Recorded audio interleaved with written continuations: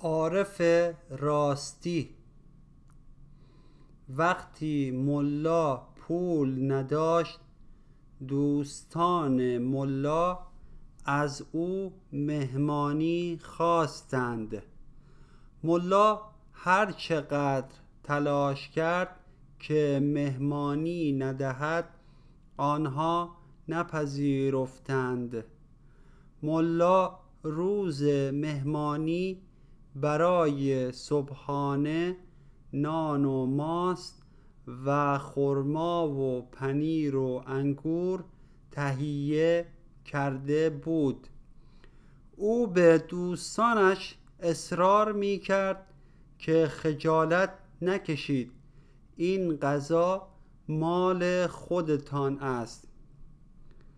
دوستان از تعارف ملا خوشحال شدند و صبحانه را خوردند.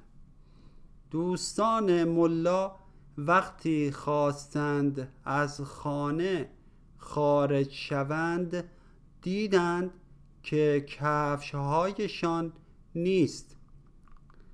آنها به ملا گفتند کفشهای ما کجاست؟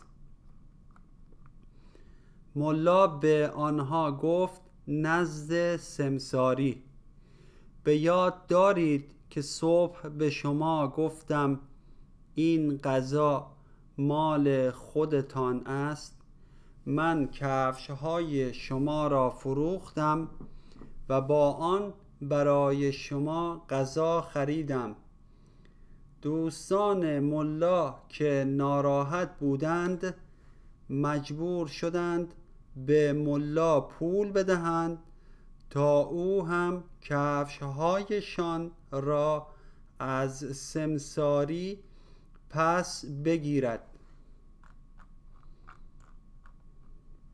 وقتی ملا پول نداشت دوستان ملا از او مهمانی خواستند. ملا هر چقدر تلاش کرد که مهمانی ندهد آنها نپذیرفتند.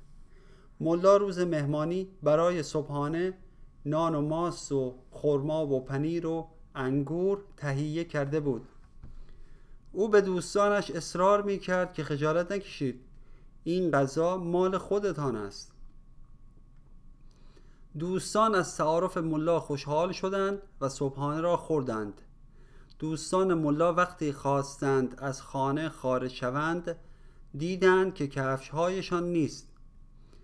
آنها به ملا گفتند کفش های ما کجاست؟ ملا به آنها گفت نزد سمساری. به یاد دارید که صبح به شما گفتم این غذا مال خودتان است. من کفش های شما را فروختم و با آن برای شما غذا خریدم.